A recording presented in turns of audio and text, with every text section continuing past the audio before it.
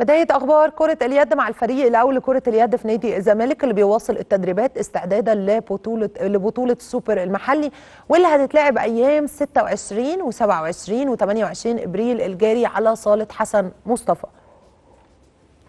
تدريبات الفريق طبعا بتشهد حالة من التركيز من جميع اللاعبين والجهاز الفني علشان أكيد هم حلمهم أو هم مركزين بشكل كبير أو هدفهم بشكل كبير التتويج بلقب السوبر وتعويض طبعا خسارة لقب كأس مصر وتحقيق الثنائية المحلية بعد التتويج بلقب الدوري للموسم الرابع على التوالي. صفوف الفريق مكتملة الحمد لله باستثناء وسام سامي نوار اللي تأكد خلاص عدم مشاركته في البطولة بسبب الإصابة في الغضروف واللي بيعاني منها من فترة طويلة.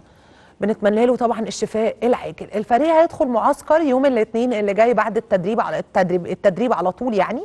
وده استعدادا للدورة المجمعة لتحديد بطل كأس السوبر واللي بتضم الزمالك والأهلي وهليوبلس وسبورتنج طبعا. الكوماندوز هيبدأ مشواره في بطولة السوبر بمواجهة سبورتنج يوم 26 بعدها هيلعب مع هليوبلس يوم 27 وهيختتم البطولة بمواجهة القمة أمام النادي الأهلي يوم 28 إبريل الجاري. شاء الله الفريق يقدر يحقق الفوز ويتوج باللقب بإذن الله.